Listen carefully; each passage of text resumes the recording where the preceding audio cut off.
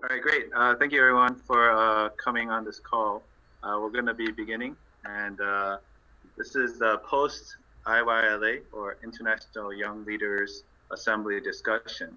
Uh, we're really happy to uh, have a follow-up program after our International Young Leaders Assembly that happened actually about a week ago, which concluded at the United Nations. So I want to be able to welcome all of you from, uh, I can't see who's online, but uh, we're really happy to welcome delegate all of you from all around the world, uh, whether it's uh, from the United States or even from different countries.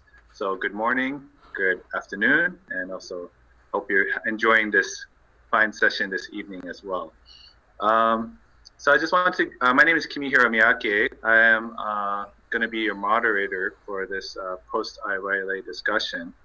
Uh, the, uh, I work with the, I am the youth uh, director. I'm the director of youth for the Global Peace Foundation here in the United States. I'm based in Seattle, Washington. Uh, the Global Peace Foundation has been one of the co-conveners for the International Young Leaders Assembly. Uh, the International Young Leaders Assembly started in Atlanta, Georgia, in partnership with the Points of Light Institute, as well as the Global Young Leaders Academy, uh, together with the Global Peace Foundation. And we uh, had a collaboration with the Martin Luther King Jr. King Center in Atlanta, Georgia that year in 2012. And in 2013, we were taking delegates from the World Bank in Washington, D.C.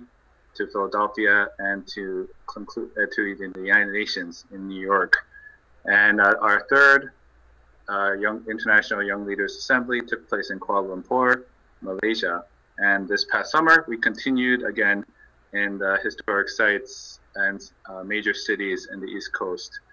Uh, so we are very excited uh, to uh, have this. This is actually the first time we had a post uh, call or post program where we can invite speakers such as my panelists here to continue the conversation. Uh, the theme of the International Young Leaders Assembly was moral and innovative leadership, vision, service, and entrepreneurship. Uh, the purpose of the theme is to recognize the necessity of uh, having moral leadership as well as innovative leadership in the rising generation. The, what we're seeing right now is a lot of challenges where uh, le leadership it, although leadership exists in name, uh, the challenge is the substance in terms of integrity, character, and uh, we see a lot of challenges all, all, in every aspect of society and all over the world with issues like corruption and like.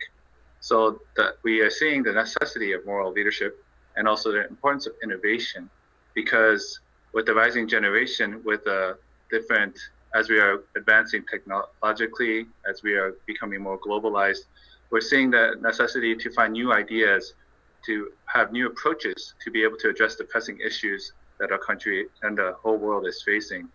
So I want to read uh, a quote from uh, my, my, international president when he was address, addressing the United Nations for the International Young Leaders Assembly, when he said, the theme of this forum is quite meaningful, moral and innovative leadership, vision, service, and entrepreneurship. This unique juxtaposition, moral and innovative leadership, we believe encapsulates the leadership, the leadership qualities needed for our time. A moral leader is guided by an ethical framework rooted in universal principles and shared values. The moral leader has integrity and is committed to advance the greater good before self-interest. And on the foundation of a solid ethical framework, uh, innovative leadership can tap the wellspring of innate human creativity, ingenuity, and the power of innovation so that they can be channeled to address even the most intractable social problems. So this is a, a we uh, concluded at the United Nations uh, with the, this assembly. And uh, as I mentioned before, uh, we actually had a whole week full of programs where we brought international delegates from the Capitol, from Capitol Hill, the State Department, World Bank, the National Constitution Center, and concluding at the United Nations. And uh, we, uh, at the United Nations, we were able to uh, have a delegation of about 500 people from all around the world uh, young people who are thinking about wanting to contribute to society in some in some kind of aspect, to those who started uh, their own organization and their own initiatives, and yet they were on that same platform at the United Nations talking about how to work together, how to advance, and learning from others and leaders such as those on my panel here uh, to be able to take the next step in their personal life and also uh, those that are connected to them as well. So I'm really happy to uh, have this discussion with all of you from around the world and want to include my, uh, introduce my uh, panel here and I want to uh, ask them that they can share a little bit about their organization and the work they do. And we have a series of questions that we want to uh, ask them. And uh, what we did at the United Nations is we had a panel of about eight uh, young leaders, and uh, we had so many uh, questions we want to ask them, but so little time. And actually, this is part of the reason why we wanted to continue this conversation. Uh, so I'm going to give a little bit of a, a bio of each of the speakers, and then I'll ask each of them to share about uh, their organization. Uh, so to my, I guess, right, right, this is uh, Shauna Dressler. Shauna is the founder of Social Innovators uh, Collective. In 2011, Shauna founded the Social Innovators Collective. The organization's mission is to train and nurture the next wave of social change leaders so they can demonstrate measurable impact and achieve financial sustainability. In addition to her work with the Social Innovators Collective, Shauna also develops the, and leads classes on business development for social enterprise conferences at Harvard, Columbia, New York University, Brown, School of Visual Arts, Rhode Island's School of Design, and others. In 2014, she developed the curriculum for the Makers Institute a social good business school designed to support 21st century entrepreneurial problem solvers and creatives tackling the most pressing social and environmental challenges of our time. I will uh, give the mic to Shauna to give an uh, explanation about her work, and then I'll uh, introduce Jose uh, after that. So um, again, welcome everyone. Uh, we don't know where you're from, but this is exciting that we have people from all over. Um, my name is Shauna Dressler, and um, I am the founder of the Social Innovators Collective, which came about um, after I tried to found a nonprofit in 2011 called the Global Giving Circle. Um, at the time, I had just finished working about 10 years in media for uh, a satellite TV station. And um, a lot of the broadcast that we were um, airing was a lot about international development and the problems around the world and at a certain point, I um, was really proud of the work we were doing, but I wanted to be on the other side of the camera and really get, um, you know, involved in a personal way with uh, trying to be helping people that needed help. And so I founded something that was going to be a crowdfunding platform in person. So we would come together, um, have people donate small amounts of money to do things like build a school or um, put together things that would be unaffordable for any of us individually, but together, if we would uh, pool our funds, we'd be able to do it. Um, but I, I happened to uh, fail in a very uh, painful way by not doing a proper trademark search. And uh, without getting into much about what that is, what I learned from that experience was I didn't have the small business skills. I had a lot of passion and a lot of interest and um, a good plan of what I wanted to do ahead, but I think I I didn't think enough about what it was going to take to run an organization. Uh, so from there, uh, I decided that really what was needed in this space, um, I live in New York City, and so most of the people I was in touch with were from New York, was uh, education, that a lot of us came out of very strong liberal arts backgrounds and had a lot of experience in sector-specific professions like uh, we had two attorneys in the group and some people that had MBAs, a few other people in advertising, but none of us really had the full suite of skills that you really need to run a business. And a nonprofit is indeed a business, which was also a big surprise because I just wasn't thinking that way. But actually, when you in America, when you sign papers, they're actually called nonprofit incorporation papers. And uh, so, uh, right now, I've been developing a lot of curriculum to teach people that haven't gone back to school or um, you know don't have any interest in going back to school because it's very costly about you know what are the broad um, skills that you need in order to really successfully uh, found and launch and be in business after a couple years, either a for-profit social enterprise or a nonprofit. Um, so that's my background. Great, thank you, Shauna. I really appreciate also for uh, you and Jose to take time uh, after hours because uh, I'm also in Seattle, so right now it's uh, four o'clock for me. So I really appreciate uh, both of you uh, for taking the time. Uh, next, I want to introduce Jose uh, Fernandez. Jose Fernandez is ambassador of the Global Good Fund, head of its head of its New York chapter, and a consular officer at the Consulate General of Spain in New York, and has worked as trade officer for his embassy. Uh, Mr. Fernandez's international executive experience in L'Oreal, ING, and Banesto has been complemented with his service on the boards or commissions of various Spanish and international nonprofit organizations, including Amnesty International, the Global Good Fund, Ciudad, Ciudad, Ciudadanos, apologize, and Libertas. Uh, Mr. Fernandez has co-founded and governed the nonprofit organizations Res Publica, Asocia, Asocia, Asociación Nacional por la Libertad Lingüística and Asociación Libre de Debate. uh, you are JC in Spain, as well as co-founded and managed business venture Fabriles Sistemas. Um, even high school Spanish is giving me a hard time. Uh, Mr. Fernandez. Mr. Fernandez uh, has also been candidate to the European Parliament and local and regional elections in Spain. He has an executive MBA at, by the Univers Universidad Internacional Menendez Pelayo, graduated Outstanding Graduate of the Year and valedictorian of the International Business degree of the Univers Universidad Rey Juan Carlos. Is a certified chartered economist in Spain and is an experienced skydiver, scuba, scuba diver, sailor, rock climber, skier, a skier, motorcyclist, and martial artist. So he knows how to have fun and kick some butt. So uh, please, uh, Mr. Uh, Fernandez, uh, introduce yourself and look forward to uh, hearing more about the Global Good Fund.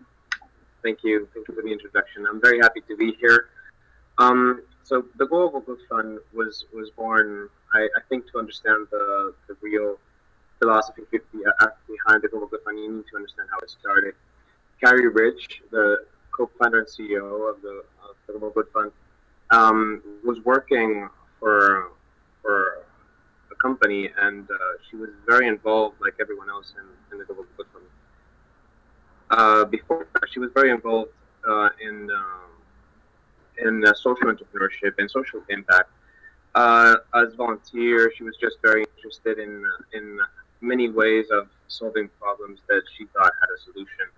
And uh, when her um, her boss was very well aware, aware of her um, continuous interest in the subject, and when her uh, birthday came, her boss came to her and said, "You know, I was gonna, I was gonna." Um, he gave her this check for two thousand dollars, and he was like, "I was going to use this money for a dinner for the team in uh, for your birthday anyway. How about you use this uh, this money for for one of your causes?"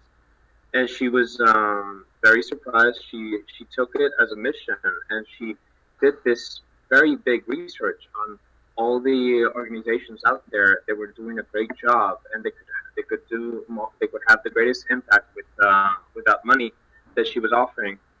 Um, so she did this uh, this really comprehensive research of the organizations out there, and finally gave um, gave the money, divided it into uh, three projects of three different organizations around the world. But there was this huge amount of um, of uh, uh for-profits and not-for-profit organizations that were doing a great job of social impact that did not get any money, and this really frustrated her. So she she um, she wrote this email that she um, um, you know on the subject. She uh, she titled it the Global Good Fund, and she basically wrote uh, this email to everyone she had on her contact list um, from her uh, you know professional connections, personal connections, to see if anyone would donate any money um, to so that she could give something to all these other organizations that she had uh, discovered and had seen was inspired by the work they were doing. So, um, you know, people, friends, and family um, gave her 20 bucks, 50 bucks, and then suddenly she finds herself with uh, this um, this this email of this man uh, um, telling her that uh, he would give her a million dollars. Now she was uh, kind of taken aback, and she uh, asked to meet him somewhere public because uh, you know she was worried he could be probably a psycho because that's the first thing I would think if someone offered to give me a million dollars. So um, she asked him if uh, he could, uh, you know, meet with her somewhere public uh, um, with a certified check for the million dollars, and he did. He appeared there, and they had. Um, he asked for anonymity, and um, please excuse my, my English. I'm you know originally from Madrid, Spain. My I I live in New York and work in New York. Uh, I've been living here for two years, but uh, right now I don't know if it's anonymity, anonymity. Anyway, uh, close enough, I'm sure. So um, he um, he did give her this certified check and uh, uh, to uh, written to the Global Good Fund, which of course did not exist at the moment. It was just the title of an email. She went back, running back to uh, to work to her boss and basically threw the check at him and said, "Look what you've done! Like this has started. This has spinned out of control. I don't know what to do with this money. I, I, you know, I find myself in this situation." She was all freaked out, and um, and her boss, um, you know, took the check and said, "You know, if you quit this, if you quit your job and you dedicate yourself to this purpose, I'll match the one million dollars." And that's how the Global Good Fund was was uh, was born. Um, Two million dollars and um, a few bucks from uh, friends and family, and uh, um, the purpose, the uh, the uh, the mission of of making the greatest impact with uh, the funds that were given, and through the process, it has become a um, an example of mentorship and leadership training and uh, to the world for social entrepreneurs. The fellowship program that the Global Good Fund offers to its fellows is um, like none other. It has developed a 360 um, evaluation process that um, is right now being um, investigated by many many universities in the U.S. Um, for their social entrepreneurship leadership programs. It's mentorship, everything pivots around a marvelous mentorship program where incredible business leaders of the United States and hopefully soon of the world are um, leaders of billion dollar companies, presidents of universities, uh, of huge organizations, um, tech startups, successful um, entrepreneurs have with uh, conv- convinced about giving back, about the importance of giving back and helping those social entrepreneurs who have who are brilliant young social entrepreneurs who have a great idea but do not necessarily have all the skills to survive such a hostile environment like uh, like any business um, environment is. The fact that your idea is has a social impact does not make you um, uh, any less vulnerable to all the hostilities of the commercial world, of the open market, um, are doing those 15 month program the, that the fellowship gives you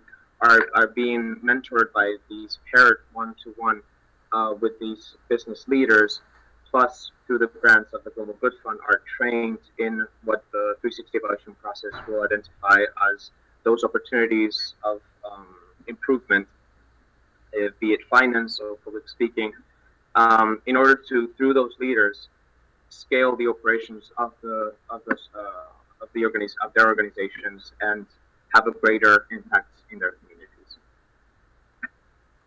Thank you, Jose. Really appreciate that, that information. Uh, it's amazing just how uh, when you are passionate about something and you take those steps, uh, you don't know what uh, many times we're always afraid to take the next step. And when she took that step out of her own initiative and then was uh, given a huge response, um, it's just a testament of uh, really uh, the kind of, uh, with good intention, we can really uh, we, can, we don't know who's out there that will, is listening to us and uh, who can be of that kind of support. So uh, it's amazing that that kind of situation came about. So I'm going to open this up to all of you online Uh, through this uh, wonderful platform uh, of Vonvo. Thank you, Max, for hosting us. And I have a few questions that I'm going to ask on my panelists today. and if you have any questions yourselves, please uh, jump on the chat box and we will keep mindful of that and uh, monitor it. So I have a my first question. Uh, we can start from Shauna and then go to Jose. We had a lot of panelists at the UN event. One of them was uh, her name was Bella. Uh, I'm sorry if I, am mispronouncing her name. Is Huel from the World Trade Center Association. Um, and she shared about the importance of having core values. Uh, she even recommended that we put down three of our core values on our business cards, especially for those who didn't have any. So for Shauna, uh, I want to ask, especially when we think about leadership, we always think about uh, what's inside of the person. And uh, so I want to ask, what are your three core values? And do you see these uh, core values reflected in the values of your organization? And how do the values of your organization shape the culture in your workplace? So uh, it's actually not just one question, it's actually three. So start with Sean. Um, so I guess I would start first with integrity. Um, when I am teaching and a lot of the presentations, I think when you decide that you want to do either um, or create a social enterprise or a nonprofit, uh, it's going to be much more costly than an organization that doesn't have the complexity of doing something that has uh, social impacts. You you can't purport to be a socially responsible organization and you're um, using I don't know cleaning products that are from the evil empire, or you're not treating your staff properly, or you're not paying payroll taxes. Like there's all of these things that people want to cut corners because they want to have the most money for the people that they're serving or the programs but if you haven't uh, identified where you're going to draw the line with what's right and wrong within what you're going to do as an organization, and if it doesn't align with who you are as a person, I think there's a huge disconnect that you just can't sleep um, well at night. And I think that's the difference between deciding you want to be somebody that's going to be uh, trying to do good in the world. It, it, it, you can't just have it one way. It has to really be fully integrated in your, um, you know, in your entire self. And um, I think the second would be um, honesty. I think uh, it's really hard to tell the truth. And I think um, I found that sometimes you're not the most popular presenter if you're the one that's actually going to come forward and say what, what there is to say or give a statistic that's not, um, you know, favorable or, or tell somebody that it's harder than most people will let, you know, let you think it is because you want to be liked. And I think um, it's hard to to uh, you know I think we're all trying to be likable and be uh, respected by our colleagues and uh, but I think at the end of the day that if you really want to have impact that if you're not honest and you're not willing to take the consequences that come with being honest that you should rethink why you're in the social impact space and um, I would say the third is generosity um, I think a lot of people really respond well when they're acknowledged properly, uh, when you give them the benefit of the doubt. Um, actually, I would say really communication. So generosity, I don't know, maybe there's four, but you know, I think if let's just stay on the generosity uh, conversation. I think that there's, something really important about, especially when you're working with people that are doing a lot of volunteer work, that you're not, um, that you give them titles that that mean something, that you acknowledge because you're going to need a lot of help. You're going to need armies and armies of people. And to not take the time out to uh, be generous with them and acknowledge them and to follow up with ways you can help them. Um, you know, you, you don't build a team until you have an army of volunteers helping you before you can you have enough money coming in that you can actually hire people. And around the um, communication piece, I think that's essential. Without good communication, uh, there's just so much wasted time and energy um, especially we're all in a hurry to be helping people. And so I think um, everything that can go wrong uh, lean, I would say, you know, to be more on the side of making sure people understand what you mean, especially when you're speaking foreign languages and email is very hard to read nuance. There's just no way if you're not sure. Um, you know, get on the telephone, which is something that uh, people 25 under are not as used to doing as those of us that are above 25. Um, you know, pick, pick up a telephone because if you can really sort out a problem, you can save so much time and misunderstanding, especially working internationally. You know, you could be um, offending somebody terribly because you don't have an awareness of some cult, some cultural sensitivity issues um, and language barrier. So, I, I, think those would the be the three principles, and um, they're the biggest. Um, I think I, I feel the most sense of accomplishment, and also these are the hardest. They've been the hardest, most challenging um, things to really stand by and keep showing up in that way and not making compromises. Yeah, especially uh, being honest with yourself is a really challenge. Um, I think it's a, a, learning experience, especially uh, as a leader. Uh, we always we are always uh, constantly learning, and uh, also we had a. I agree with the communications aspect too. So well, even sorry, oh, the thing I was going to say about the honesty is everyone knows when people lie. And so you might as well tell the truth because the consequences is that you lose your reputation and you can't build that back. I mean, it's it's hard enough to build a good re- reputation. You you shouldn't, you know, play with fire by trying to think you can get away with things because you just can't. Everyone knows everybody at a certain point. Somebody knows somebody that so knows somebody, and people talk. So, you know, I, I feel like with the interns I work with in New York City, I said the, the most precious thing right now you have is your reputation. And if you're not honest, word gets out, and then nobody trusts you. You don't get money. It's just, uh, it, I don't know. Jose, do you have anything to say about that? I, I just feel like people don't say enough about the importance so we'll, of being. We'll go to. Yeah, Sorry. we'll go to uh, Jose uh, to share about his core value, three core values, and uh, how that reflects his organization as well. But yeah, thank you, Shauna. That was really uh, good advice. So I, I believe that honesty is the frame.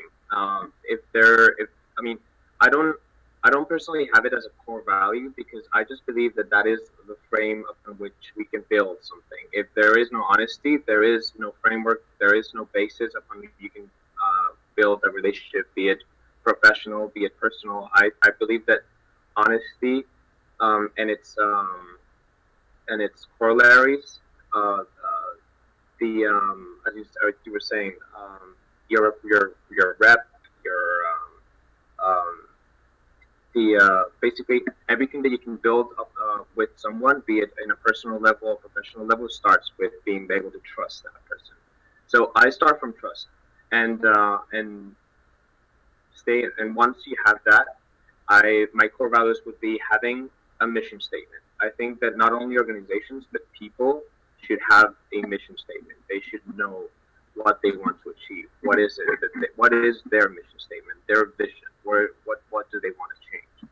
It has to be something you're passionate about. It's actually the first thing I want to ask people when I meet them is, "What are you passionate about?" It's just that um, it's not socially acceptable as of yet. So I, you know, kind of break the ice and then try to uh, get into it. So, what are you passionate about? And because for me, that is that drive is what is most important in, in anyone and uh, if you understand that drive within someone and that drive, that passion is aligned with yours, that's when uh, commercial uh, partnerships can happen. That's when you're hiring, um, when you become hireable in, in, in, in my point of view, in, in the organization I've been in hiring position, you know, um, the recruitment um, um levels. Um, and, uh, and, and that mission statement has to be your purpose. I think that you, that you have to check everything you do against that purpose. If uh, if you're if you don't have that mission statement clear, you really don't know. That's when doubts come in when you're uh, making important decisions for your organization. Uh, also, um, don't and it's kind of a corollary first, but it, I I like to to state very clearly that I don't think if you're in the in the if you're into social entrepreneurship, if you're into social impact, you should not make it a professional project whatever you do, it should be a life project. It's something that goes beyond a nine to five work. Um, it doesn't matter at what point of the organization, uh, what level of the organization you are. Definitely in the CEO level, but even if you're considering uh, uh, a management level within a large organization, you should not get into uh, social entrepreneurship um, as a professional project, as a professional career. It's a live project. You, you have to dedicate yourself for the, uh, to your purpose. That's like, it brings us back to the mission statement. If you are going to start a social business or if you're going to get into an organization, be it a for, uh, for, uh, for profit or not for profit um, organization of social impact, do not um, do not do it if it if it is not aligned with your purpose, if it, it's not aligned with your mission statement, because you, what you want to do is have that mission statement clear, and then choose uh, an organization that it, whose work inspires you, or, or if there is none, you know, make something that will inspire others, and then devote yourself to it. And the last one would, the third one for me would, would be, um, um, this is something that my Taekwondo master taught me when I was a kid, and I, it really, really uh, made an impression on me, and it's something that I've always kept in my mind. If you see something that is wrong, do something about it. Do not look aside. Do not act as if you did not see it. If you do not have the skills, the resources to change it, and you think and you still think it's wrong, then acquire them or get you know someone with the executive power to change it to change it to do something. Awesome, and uh, that's why we're here. And uh, I realize actually time goes by so quickly, and there's so much actually that uh, uh our panelists here want to share. Uh, so I, I, want to ask if they can also be uh, concise so we can get in more questions. And already we have a few questions. So from Max K, we have a few questions. So I will maybe uh, address, uh, uh, I would address one of you, maybe uh, if you wanted to raise your hand like that, and then uh, I can let you uh, take the floor, and then we can go from question to question. So is fundraising the biggest issue for social entrepreneurs? So who wants to take that? Is fundraising the biggest issue for social? Okay, so Jose. I, I can, I mean, I don't, um, it's a problem. I think that um, I think that that is um, one of my uh, main obsessions is getting social businesses to be uh, like I, I personally think that a social business that social entrepreneurs are the bridge between the the not-for-profit world and the business world and they take the best of both ends i think that if if you uh, achieve if you create if you produce a product or service that makes you economically sustainable while having a social impact, you can now forget. Uh, you can now focus on, on your on the biz, on your business core, while being able to make projections into uh, long-term projections because you have a model that is economically sustainable thanks to the, the, the product of your of your business. Um, I believe that it's that is a great, great problem. That fundraising is a great problem for, for great not-for-profit organizations because they become machines of fundraising and they lose the focus. CEOs have to be invested in those fundraising because sponsors do not want to have to deal with managers or middle middle managers or, or executives of a, a not-for-profit. They want to hear the story of the CEO. The CEO then has to divide his time from his vision, his or her vision, and and purpose and has to go and spend more and more time with sponsors and donors and uh, philanthropists explaining the story getting getting them getting it to appeal to their hearts and that they no matter how successful they become they have to uh, spend more and more time getting that money fundraising and therefore detracting from the focus of their organization and it's it, for me it's just one of those things for me, every organization, every for me, every for-profit organization should have a social impact. I think it's a um, it's a characteristic that should be considered for every consumer in every product. Just like you buy an iPad and consider what the RAM is compared to other um, uh, tablets, and if you buy a coffee and consider the taste compared to other coffees, you should consider what social impact that product and service you're, you're having has on the world. I also think that non-for-profits should have a, um, a, a reliable, sustainable economic model. I, I, just, I think both should be centered because too much, uh, way too much effort and attention is given by CEOs and presidents of non-for-profits to fundraising. Thank you, Jose. Uh, do you have anything to add to that?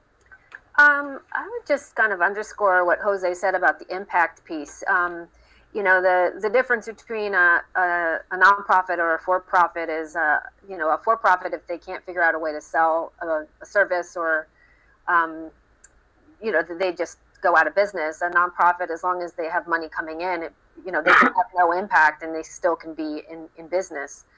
Uh, so I think at the end of the day, the real, um, the real key is if you can't figure out not only what the impact you're going to make, but actually see that it's happening, then nothing else matters. So if that's not what you're starting off with, what kind of difference do you want to make and how are you going to make it? Um, if, if you're not really satisfying that, you can see lots of uh, dollars come in and go out, and it doesn't mean that you're really achieving anything. So that, that would be what I would say. And, and fundraising is an essential part of the success but I think at the core of why you're doing what you're doing is you have to figure out what you care about. And like I totally agree with you, Jose, that if it isn't something that's really about your personal life mission and somebody that you know being somebody that is of service and you, you really start to see that it's not about you and it's really about helping other people and you're in you're in part of that equation uh, you can't figure out the impact piece and, and the fundraising doesn't matter because a lot of money gets spent. There's billions of dollars that is you know comes from the, the first world, goes into the bank accounts of the developing world, and does absolutely nothing. And it's just you know very very sad to see that happening. And there's plenty of reports on this. I'm not making this up. You can, you know, there's even the UN has plenty of reports that, you know, they let you know what they tried to do and what had, didn't happen, especially with the Millennial Development Goals coming to a finish at the end of next year. And um, you know, they have to, if they're going to be, you know, really honest with the public about what's happening, they, I think they're starting to release a lot of reports around that. And then there's a whole new campaign coming uh, to hopefully uh, follow up where, where the Millennial Development Goals uh, fell short. So that's what I would say. Yeah, that's a good point. Uh, yeah, impact. I really agree. You know, uh, we can't lose sight of our original purpose of why what we're trying to accomplish, uh, especially when we get caught up in organizational matters. And uh, I really appreciate your comments from both of you. Uh, and I think, uh, yeah, it's true uh, to be able to really make concrete and lasting impact and utilizing the, the funds effectively that we have to do that. so this is a good discussion point. On top of the, when we're talking about funds right now, I'm actually gonna, sorry, uh, Max K, I'm gonna jump to Deja C, who uh, asks, is asking uh, Jose uh, about your organization. Uh, she's at, uh, I think she's asking, you know, do you know what the smallest organization the Global Good Fund has funded is? Do you know? I I don't know. I don't know what the smallest would be. Um, there is no minimum, however, nor in in volume, economic volume, nor in uh, participation of uh, people employed. It's uh, it requires the project to be a, real, a reality. It has to have two years of, of existence at least. Um, uh, but the the Global Good Fund has that has helped very small operations. What we look for is um, for for organizations that have a great potential. They can already be a big uh, a big player, but if they have the potential to internationalize, um, imagine uh, we have we have uh, helped uh, an organization that would um, give uh, electricity through solar panels to the most uh, inaccessible places in Mexico, but they had the potential, and they were already a successful business venture uh, that they had the potential to, to grow to the whole of Latin America. So so we we um, we helped them out, but um, we've also helped very small operations. Um, in uh, right now, we're through the uh, grading process of the 2014 2015 fellows, and some operations. This I remember grading this uh, this um, this candidate was a, an operation in Uganda who is uh, very small. Um, of, manufa- of uh, manufacturer, Hutchison manufacturer in Uganda that has a lot of potential. So um, it, it doesn't really matter how small the uh, the organization is. It matters how much potential it has and what impact, what social impact it's having. Great. Great. Thank you very much. Oh, sorry, Sarah. Make a comment. So my comment for those of you out there that actually are looking for funding, before you spend months and months and months looking for funding and learning how to write a grant or learning how to meet people, go find yourself an amazing mentor because a mentor will get you farther faster than money. Because if you don't know what to do with that money and you don't know how to spend that money, you're going to run through it. Where a mentor can really set you up in a way that will help you exponentially get to where you want to go. Um, and the second thing I wanted to say is do figure out your mission, write it on the mirror that you look at every day, because so much of the game and the reason why this is a you know you're a lifer once you get into this is it is hard. And if you aren't tenacious and you're not going to hold on with brass knuckles um, you know and, and, at every pass when something's difficult if you're going to decide you're going to jump from you know child slavery to uh, environmental things or whatever you know solar panels in uganda you know you're not you're not going to have any impact. So really really figure out very ask yourself those hard questions what do you really really care about? And then stick with it. Because this is a, this is a long-term game. This is not a, a down and dirty and quick in and out at all. That's anyway I, I, that might have been totally irrelevant but i felt like it was important to share. Not re- not irrelevant at all no. Everything is connected so i really appreciate that those comments and you know you guys can totally go off script. Uh, don't have to follow my impromptu so I appreciate that. Uh, so I'm going back to Max K. Uh, second question was, uh, oh, and by the way, anyone else who's joining us still, uh, can you can still add questions even though we have very limited time. What are the most common ways of social entrepreneur markets, their social cause, NFP, uh, non-for-profit organizations and businesses? So I'm going to go to Shauna this time. Uh, so if you want to ask. Marketing. So right? Is that did I understand that right? So question about marketing. Yes. How do you uh, most common ways of marketing um, see i don't think there's i think you have to know what it is before you can figure out the vehicle for marketing so um, so I'll, we're putting together something called the social good guide i'll type into the chat box at the end and uh, basically they're small business guides to answer all of these questions and one is on marketing and it's a very general guide but the, the problem with marketing is that if you have a service, that's going to be a different strategy than if you have a product, which is a different strategy than if you're a nonprofit versus a for profit versus what country you're in. There's so many variables to marketing that it's really hard for me to kind of give you the formula.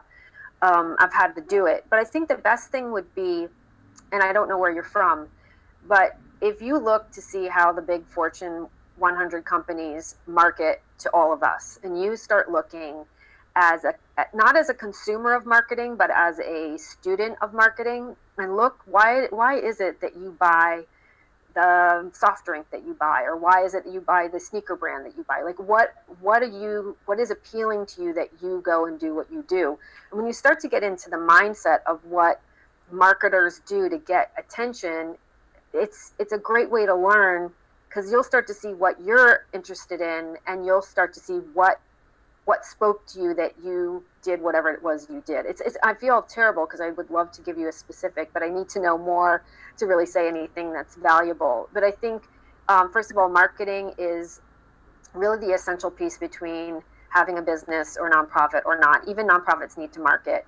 You could have a fantastic um, business and if you can't get it out to the public whether that be for them to buy something from you or to donate to you, you're basically nowhere.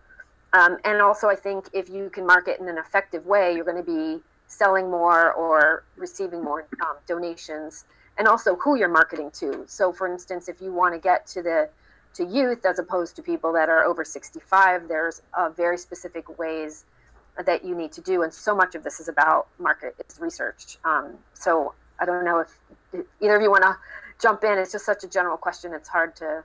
I wanted to give you something that will be valuable. Jose, you want to add anything? No, I, I agree. Um, you just have to.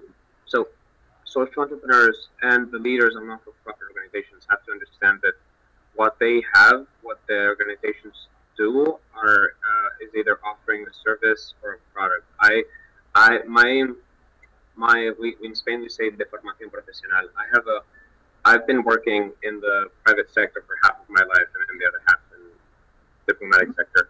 Um, so it's they always tell me when I'm when I'm working uh, in, in not-for-profit organizations and, and government-related organizations that um that I my my terminology is very it's very private sector like because I always see everything as a as a, a product, a service, even if it's just an idea of a, of a political party.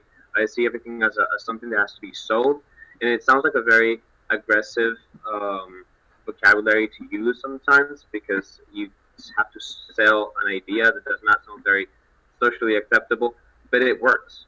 Um, if you find everything can be broken down into a service that you have to sell, into a, product that you have to sell, and uh, even if it's just if it's just a notion um, or an impact. So understanding that is very helpful when you when you when you have to analyze the fact that every organization lives in a hostile environment because it is a hostile environment.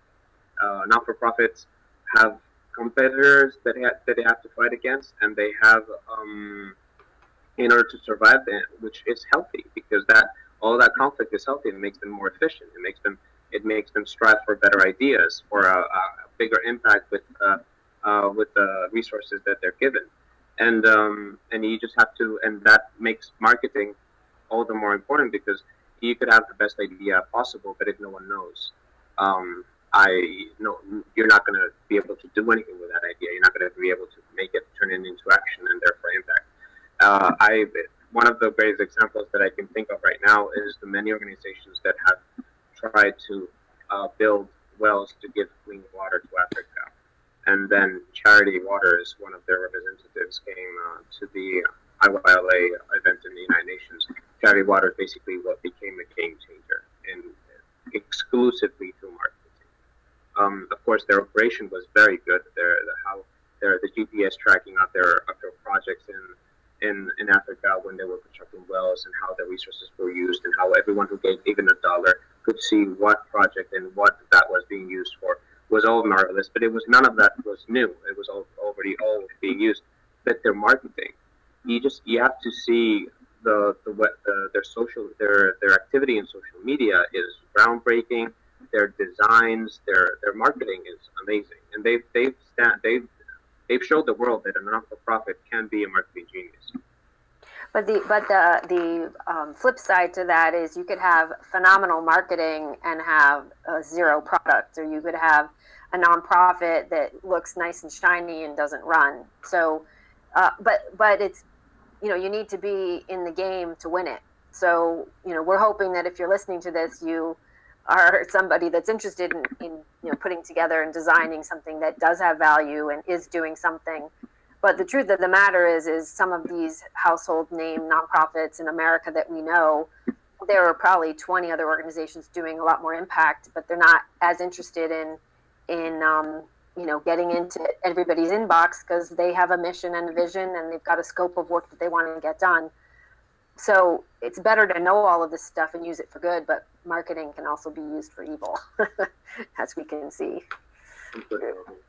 Uh, so then the next question is: Is there a need for uh, helping people uh, assist, uh, having uh, helping people market for their causes? Yes, and the problem is that a lot of nonprofits don't understand how important it is and don't want to pay for it. But I think you're right. Let Charity Water has definitely changed the game. The design is exquisite. The navigation works. Um, you know, they they they've done advertising. They've done beautiful exhibitions in New York. And at the bo- at the bottom line is, um, and then I'll go back and answer the question. But think about it: if you're looking for somebody to cut you a million dollar check, somebody that can afford to let go of a million dollars is eating at fancy restaurants, is is uh, has bought a multi million dollar condominium, maybe has two drives nice car, they are a consumer of very high design. So if you have some schlocky website or some, you know, terrible packaging, you're not going to get the kind of donor or uh, purchaser if you don't have haven't spent time on marketing and that you're looking at high quality design. So uh, Charity Water can command a lot of people to be donating a lot of money because they're used to seeing that level of design um, going back to do people need it? They do, and um, I think a lot of us are also hoping the part of the impact we could make is to let people know, and especially in the nonprofit sector, how important it is to have a line item in a budget for marketing and design because it translates into dollars and dollars spent wisely translate into more impact. Okay, uh, I uh, we're getting close to the wire. Uh, we did promise one one hour, and there's so much that can be again conveyed. So, uh, one more uh, coming from Max K. He said, "Thank you for the answers. Uh, sorry for being so general. Is a charity water trend trying to leverage social media marketing? if you want, if I wanted to volunteer my time and assist in social media marketing for non for profit, is that something I can do?" Uh, I don't. I don't know that they will need any help, but there's a lot of others do. a lot of others do. Um, I can put a couple of uh, organizations that are uh, on the web that you could uh, uh, volunteer services through, and um, also there's an organization called Social Media for Nonprofits, and that might be another good place to figure out how you could volunteer your time. But um, I'll put some things in the chat box. We can't hear you, Kim.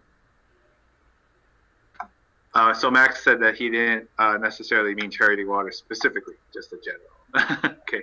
Um, all right, great. Actually, we're uh, apologize. We're getting close to the end. Uh, so I want to ask one, uh, a couple more questions if we have time. Uh, so one of them is, especially like Shauna, you mentioned that you failed when you first started, and my question is uh, it's very easy to be comfortable and take the easy way out and run away from challenges. Uh, but Dr. King said the ultimate measure of a man is not in moments of comfort and convenience, but where he stands at times of challenge and controversy.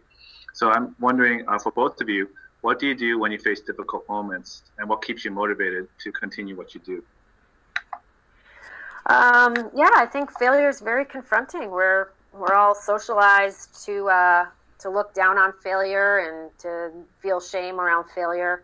Um, but I think you have to, the more you're ready to fail, then you can get to success a lot quicker. It's, there's just no way you're not going to have bumps along the road. Um, so for me personally, um, for me, I just love being out in nature. I think it's also uh, living in a big city and being in a very intense city.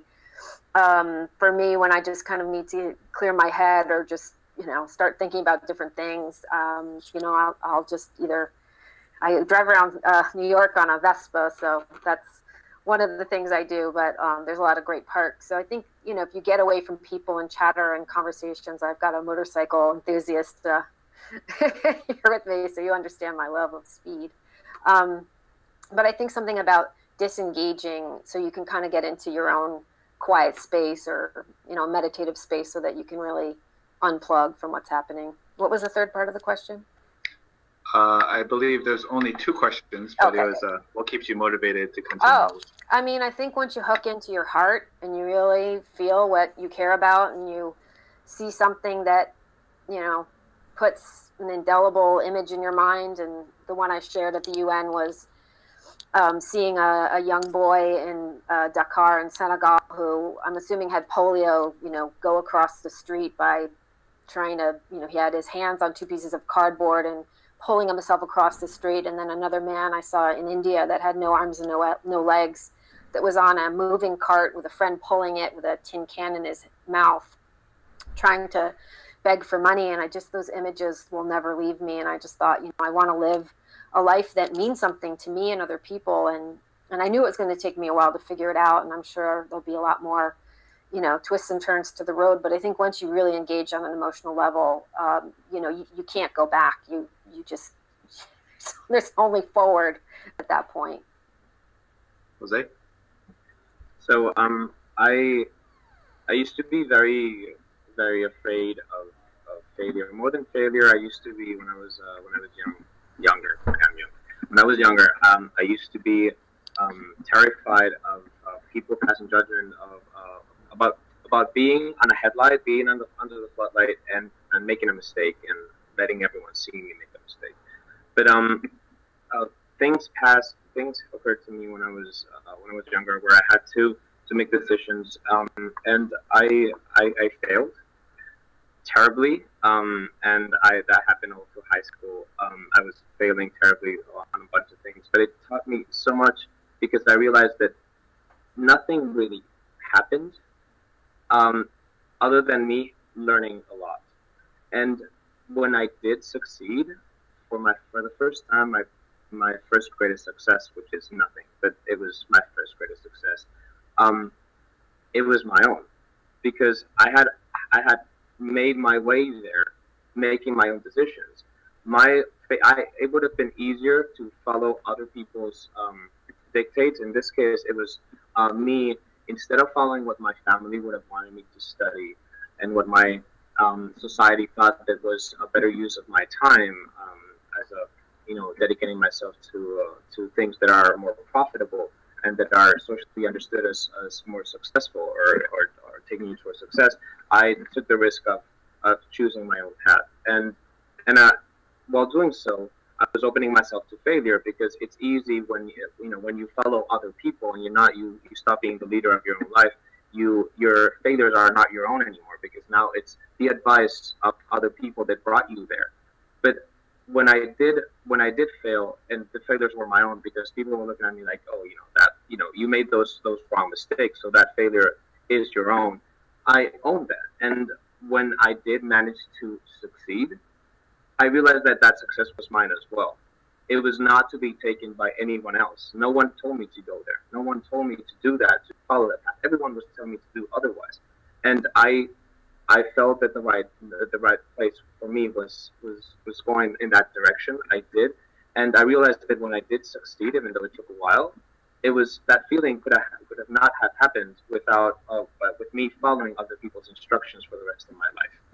Um, and that kind of you know also I've I've always been a person of overcorrections, so that took me into a, uh, a life of, of taking a lot of risks and and putting myself into situations that would uh, require a lot of me because I love the thrill of of taking a challenge and succeeding. Um, and you know, as, as Shauna was talking about, um, I I love motorcycles. Everyone was, uh, you know, motorcycles in the cities I've lived are are uh, a threat to yourself because you know from New York to Madrid, you just you're, you're confronted with so much traffic. But the, you know, when you do um, manage yourself around, and you do get. I even I, I even um, uh, I, I, I love motorcycles so much. I, I actually raced uh, in amateur competitions, and people there were crazy. And you follow you find yourself when you find when you put yourself in a situation where people are more experienced than yourself, and you survive. That if, if, even if even if you don't, but if you manage to survive, and uh, that is already a success. You are proving you can you can put yourself into a situation in which you're, you have to improvise, in which you have to to um, uh, analyze quickly in things that are constantly. The more you lead uh, your life, the more you're going to be ready when that when that moment comes where you're going to have to defend a budget in a, in a meeting where you haven't been giving all the information. The more you're going to you're going to have to improvise when it comes uh, when, when you're in a business and a in a sailing um, situation where you, you know it all depends on what you say in that moment. So put yourself out there, open yourself to failure because when you succeed, it's a fleeting moment. But when you fail, the process of learning, uh, the many things you can improve about yourself from small failures, no matter how small they are, the more you're going to improve. The, mo- the more you fear that failure, the more you're going to improve when you overcome it. And um, so, yeah, just I so I'm, I'm, kind of I'm kind of digressing because I do that a lot. I'm sorry. Um, when facing difficult moments, I I try to be um, so I like to put myself into difficult moments, but I, I need to um, remember my role models because I I'm impatient and I have so many flaws. I need to remember the people I respect, and I I need to tell everyone, please find role models, uh, find mentors, um, ask whenever you find someone you appreciate, whenever you find someone who inspires you, ask them. You'll be surprised how many will actually answer your emails or your questions after class or even in working environments, whatever boss you actually um, look up to when you ask them. Many of them will actually give you the advice that you that you ask them. And don't don't be afraid to to be inspired by people because it, it's it's scary to to to do it, but um, it's you know when you think what would this person do? It makes it automatically changes your perspective and you're open to so many more ideas. And then what keeps my um, what keeps myself motivated? Um, the, so, the the fellows the social entrepreneurs i found in this. The, for me the most fulfilling part of, of um, the social impact arena are its uh, agents its players. The social entrepreneurs that i've met have not only restored my faith in humanity but they motivate me. Whenever I fail, I remember the thousand stories I've heard um, during panels, seminars, coffees, after uh, after after meetings, you know, with people, and after impact investing meetings and the, the coffees I'll have with the social entrepreneurs. Um, after that, I'm always interested in their personal story, and I am so inspired because it is so hard, and it has been so hard for all of them the lack of resources because we do not know what, what having no infrastructures whatsoever it, it is when your operation is based in um, in Uganda, and uh, you know the, that is what keeps me motivated. Just remember that you know we are privileged, and that whatever feat you're trying to accomplish, there's people that have accomplished more with less. Can I just add one more thing? Oh yes. I totally agree. Don't be afraid of failure, but do not try and do this stuff and and fail on other people's uh, you know well-being. Don't start and get get into communities that you don't come from and jump on airplanes where you don't know languages and cultures and fail for these people that are just you know they're just getting by with with a little, tiny little bit of hope. And for you to come in inexperienced and not know what you're doing and not be properly set up for you know the funding and everything else and all the complexity that it is to either run a nonprofit or a for-profit that at that point it almost becomes unethical for any of us to go in and screw up and dash people's hopes and put them into a worse spot than when you got there. So be really thoughtful about learning on all of these things you need to like you know sharpen your teeth do it without impacting other people. Learn as much as you can learn. Volunteer for organizations get yourself into mentorships, go back to school, but don't just, you know, if your strategy is I'm going to figure it out as I do it, you're going to fail and you're going to hurt a lot of people. So that's really where you want to be careful about failure is when it involves other people, you know, other people's li- life and well-being. That has touched something uh, very, very important. The sooner you fail, when your responsibilities are, are, are less, the less people you're going to hurt when your responsibilities are, are more. So I completely agree. Do not do not get your do not put yourself a hat that you're not ready for. Fail in in the in the early stages so that you might be ready when when you're actually when the the the, the, the destiny of other people, other hardworking artisans, other hardworking people in, in places where in undeserved communities are counting on you. Yeah. Well, thank you very much, and. Uh, we are over time, uh, so I really appreciate all of you who are able to come on uh, this uh, call for our first official post IYLA discussion. Uh, but I do want to ask very quickly, in 10 seconds, maybe less, uh, how Shauna uh, and also Jose, our audience here, are able to connect with you or your organization after this call is over. So um, the best way to connect with me is I'll put my email in here. But if you sign up for the um, Social Good Guides newsletter, you'll learn about the launch of these guides. And my email is just shauna at socialgoodguides.com. But I'll put it in the. Um... Oh, and the other thing I was going to say is if you're seeking out help, be succinct. Do not ramble, send somebody four paragraphs don't get on the phone and keep talking. Be really clear about what you want from the, from anybody because they're really busy and they'll be much more um, willing to help you if you help them understand what it is you want to know from them. And secondly, that you don't just ramble. You lose a lot of power in rambling. Uh, Jose, sign sign up um, to the newsletter of the Global Good Fund on the Global Good Fund's page. It's globalgoodfund.org. I'm going to write it on the chat now. And uh, write me an email. Uh, my email is jose.fernandez at globalgoodfund.org. I'll also write it on the chat so people can just add it there. Great, and thank you very much to our panelists and uh, also for this wonderful platform uh, hosted by uh, Vonvo.